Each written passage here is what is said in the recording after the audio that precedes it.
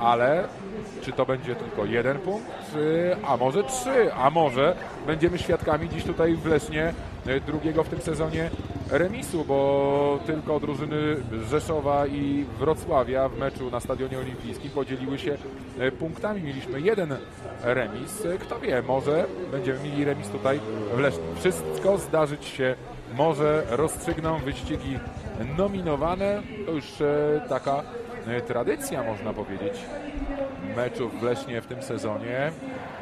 Trzymał w napięciu nas e, mecz e, ze Stelmetem Falubazem przed dwoma tygodniami.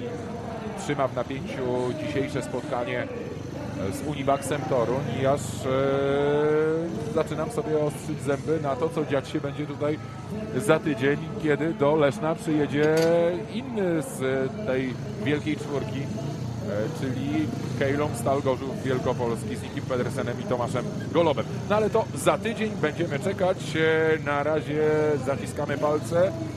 Bieg numer 14 od krawężnika Holder Univax Toruń. Kołodziej kask czerwony Unia Leszno. Holta kask biały Unia Univax Toruń i kask niebieski Edward Kenneth Unia Leszno. A może tym strzałem w dziesiątkę, strzałem w zwycięstwo okaże się być Edward Kenneth, że rację ma Roman Jankowski.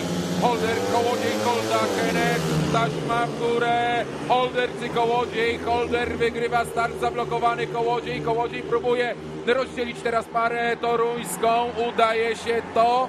Powiem, wyprzedza Runego Holtę, przyblokował Holtę, idzie ślad za Kołodziejem. E, Kenneth, Kenneth teraz przy krawężniku, e, mocno naciska Holtę, Holta jeszcze spróbuje odzyskać trzecią pozycję. Y, Przechodzi na trzecią pozycję Holta, ale kontratak Keneta jest natychmiastowy. Walka o jeden punkt, jakże ważny, bo na czele stawki mknie Chris Holder. Holder, za nim Kołodziej. Kołodziej robi co może, by znaleźć gdzieś tam optymalną nawierzchnię. Gdzieś tam przyczepniej nabrać prędkości, by zaatakować jeszcze Holdera. Holder pierwszy, y, trzeci Holta który już chyba uspokoił Edwarda Kenneta. Ten Kenneth y, przez dwa okrążenia próbował ostro naciskać Holtę. Teraz jedzie ostatni. No i wyścig 14 kończy się zwycięstwem Univaxu. Toruń 4 do 2. No i w meczu wiemy, że nic nie wiemy, bo mamy przed 15 wyścigiem remis.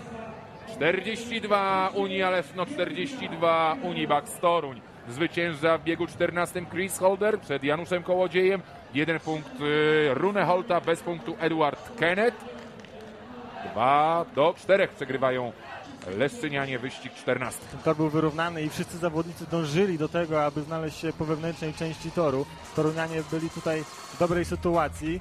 Yy, Chris Holder próbował zostawić miejsce dla Rune Holty.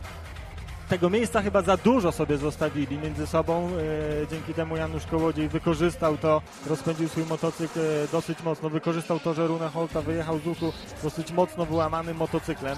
Ten e, z kolei mniej wyłamanym, szybciej zrobił tą prostą, szybciej wjechał w kolejny łuk i Chris Holder już e, zobaczył, że musi się tylko bronić przed atakami e, Kołodzieja. Z tyłu niespodziewanie próbował skorzystać z tego Edward Kenneth, jednak e, ta jazda jest zbyt mało agresywna, zbyt mało odważna.